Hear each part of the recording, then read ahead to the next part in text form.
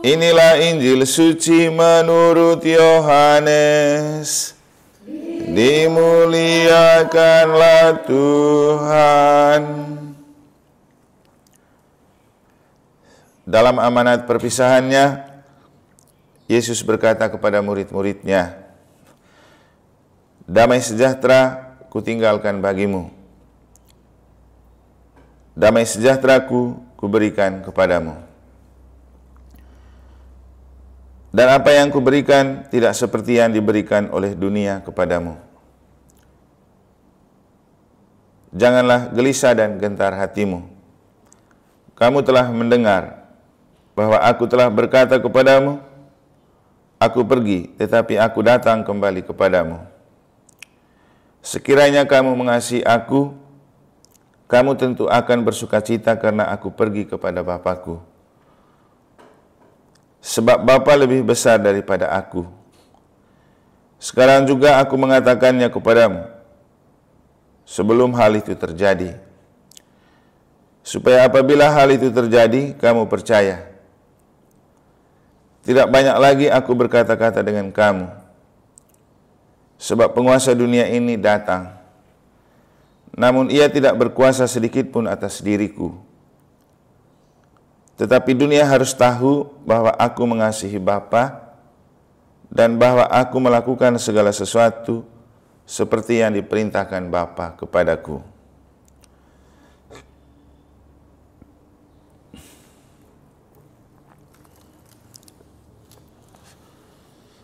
Demikianlah sabda Tuhan.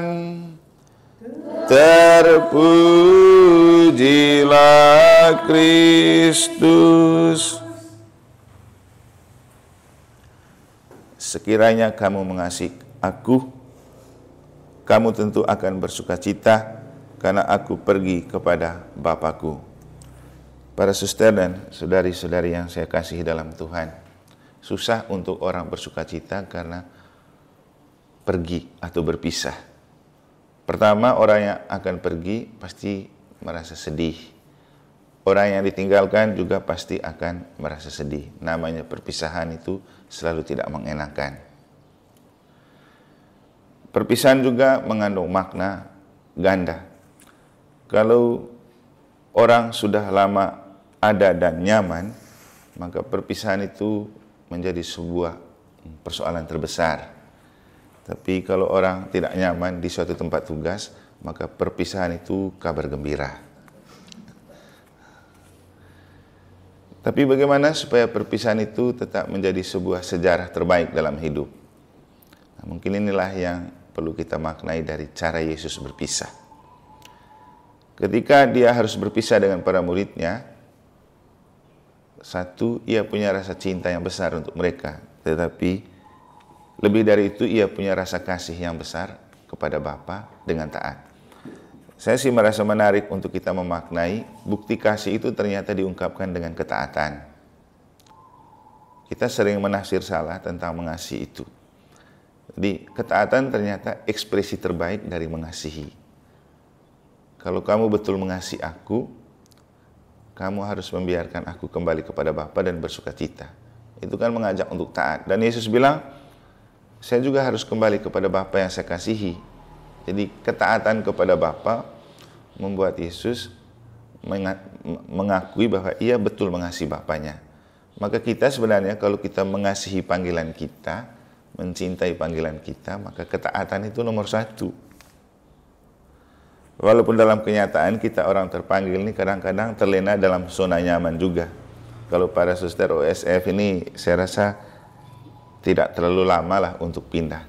Saya sudah berapa tahun di sini, mau jalan sembilan saja, sudah ada beberapa muka OSF yang saya ketemui.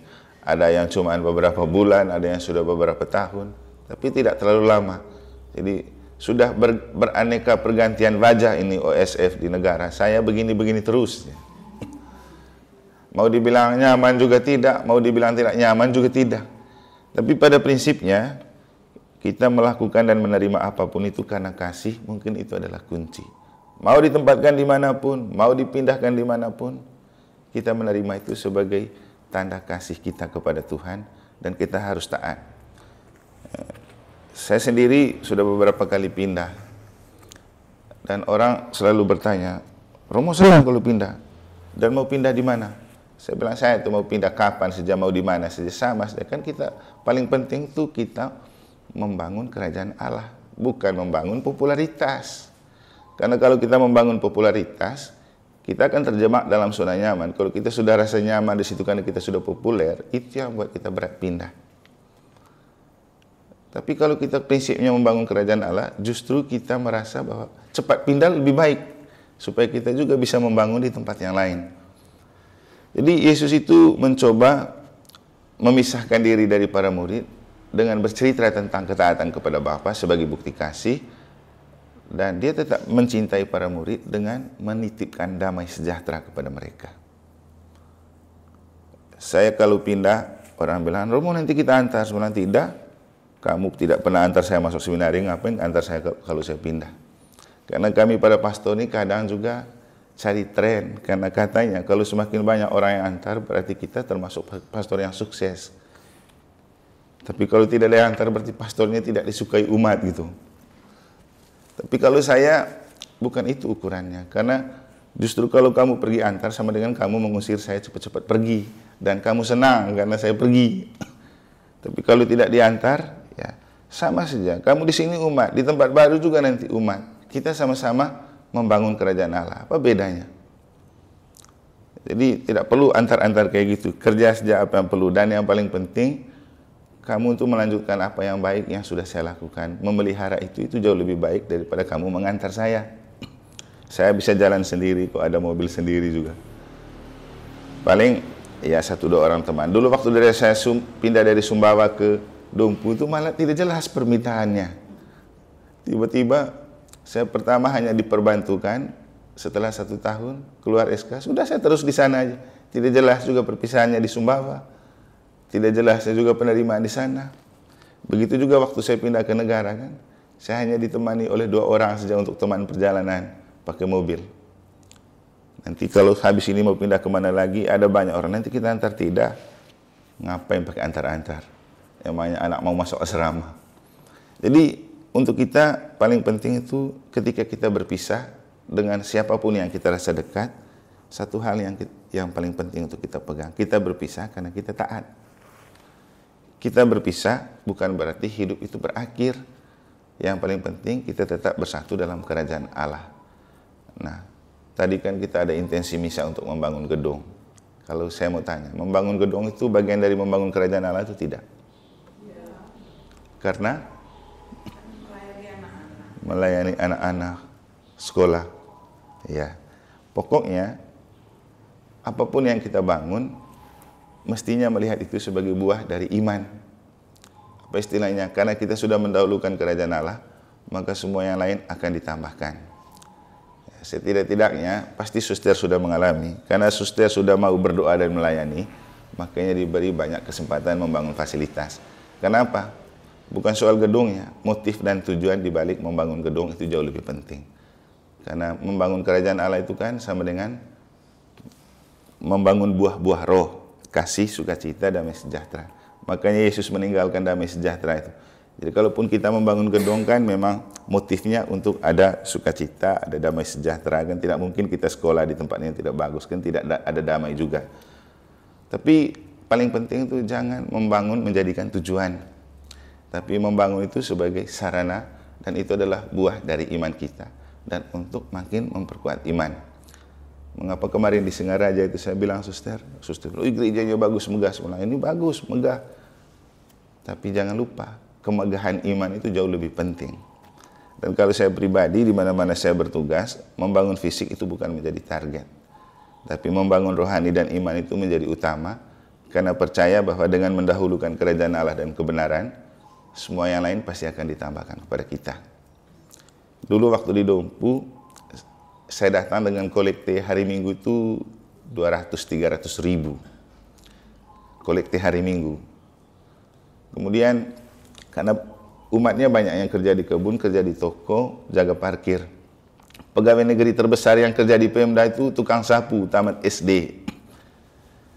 Itu saja terbesar di kantor Pemda. Tapi prinsipnya dahulukan kerajaan Allah maka semua yang lain akan ditambahkan. Terus saya ajak misa sore seperti ini, kadang-kadang saya misa di kos. Tapi kemudian segala sesuatu digampangkan. Di Dompu kami membuatkan Natal bersama itu dengan di backup sama pemerintah itu sampai 30 juta. Uangnya dari Pemdanya 25, yang lainnya instansi lain. Padahal tidak ada orang Katolik yang hebat di sana. Dan saya konco betul dengan Bupati. Setiap kali ada kemah sekami, JOMK, pasti kami di backup sama Pemda.